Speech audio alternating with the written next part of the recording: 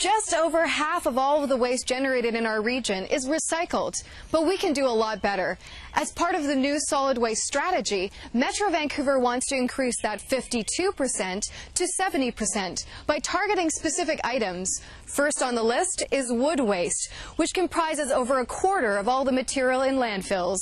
That's 350,000 tons of wood waste per year.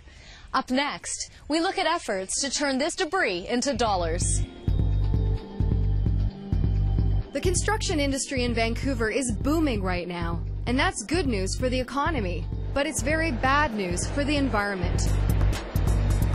Construction waste in general, and wood waste in particular, is filling up our landfills. The organic materials going to landfills, including wood materials, we like to, uh, to target.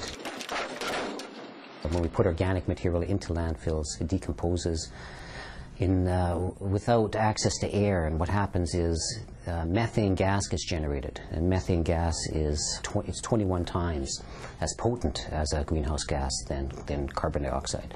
In 2006, the Metro Vancouver Board adopted the Zero Waste Challenge. The, uh, the region currently has a recycling rate of 52%. An average is less than, than, than 30%. So we already recycle a lot in, in Metro Vancouver.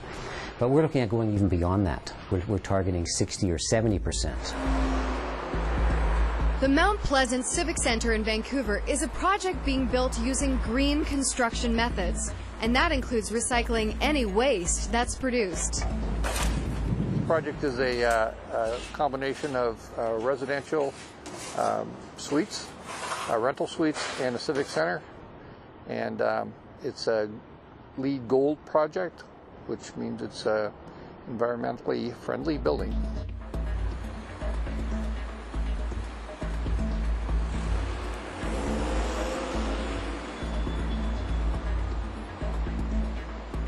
It's absolutely a waste of material to, uh, to not recycle uh, what comes off of a construction site, um, especially given the volume. The types of waste we generate on a construction site are um, wood waste, metal aggregates, which are brick and soil and, uh, and rock, uh, drywall, just about every material you can, uh, you can think of.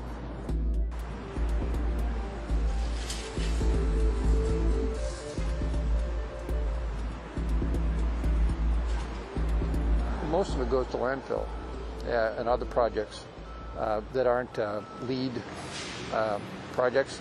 However, uh, the city is now um, mandating uh, increased levels of recycling and diversion from landfills to about 70% from currently around 51%. So that will mean that the construction industry will have to adapt. Vanbots Construction pays a premium to have bins of unsorted waste taken to a recycling facility. It's operated by Urban Recyclers, a company turning construction waste into money. We have uh, two processing plants in Metro Vancouver.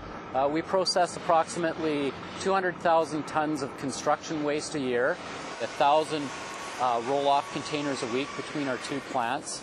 Uh, we recycle 80% of that per week, so that would be 800 of those uh, containers, if they were all the same weight, that we save from going to landfill each and every week. Generally, most of the bins that we get in are, are what we call commingled. So they have wood and they have different construction waste from plastic to metals, these sorts of things in them. Uh, right away, we start uh, sorting that stuff out. Then what happens is it goes across a picking line where we have anywhere between seven and nine pickers uh, scrutinizing what's going through.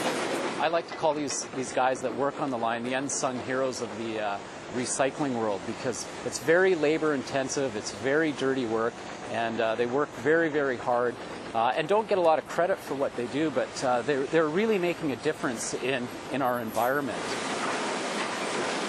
Uh, they pull off all the recyclables that they can, which will be metals, copper wires, things of this nature the wood that's left goes through what's called a hog mill where it's ground down to a specific size depending on what it's going to be used for.